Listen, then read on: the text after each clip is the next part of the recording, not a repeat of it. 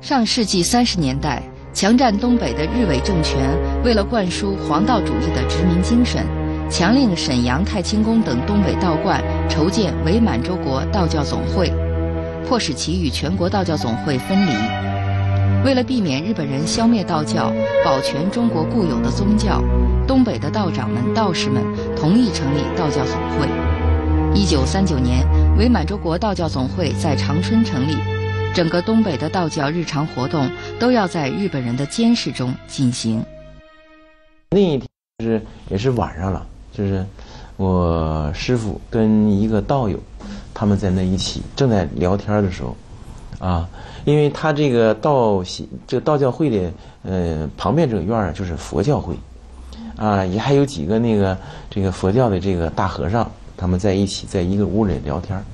哎，结果这个。日本的宪兵来了，就进来查呀。他其实对中国人，他有时候也比较野蛮嘛，啊，因为那是满洲国啊，他是比较野蛮，就是进来查，到处东翻西翻，就是查你有没有这可疑人士。他也查什么身份证啊什么的，就是你稍微要是说，嗯，说的哪个不合他心意的，他也动手打啊，他也打。说当时就是激起他们几个人的这个愤怒，师傅在心里就说，就是说，嗯。他就他后来跟我们说，就是有一个志向，就是我从此以后我不我我以后不管在什么地方做什么事情，我都要堂堂正正的做人，我要做一个有骨气、有气节的人，我不受你这个这个嗯外国人的这个欺负。张李举四处参学访道，取各家之所长。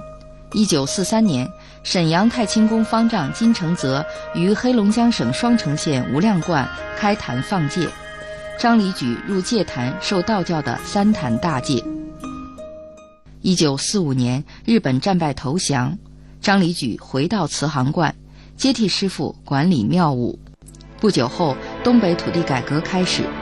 鉴于明代的慈航观遭到冲击，道士们都被迫离开庙宇。张李举先后到大连天后宫、沈阳关岳庙等地参访学习。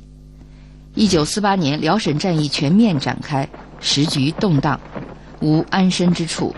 张李举与七位道友结伴云游。他们从千山步行到北京，当时是很苦的，因为什么？打仗嘛，嗯，要吃的没有吃的，然后你投电吧，好多地方呢都没有人呐，嗯，人都跑了。呃，避难去了嘛？说在这种前提下，他依然他们这就是嗯不气馁啊，不退志啊，就是就是互相勉励着。到北京以后呢，在那个白云观啊，那么在白云观挂单。白云观是全真派三大祖庭之一，当年那里高道云集，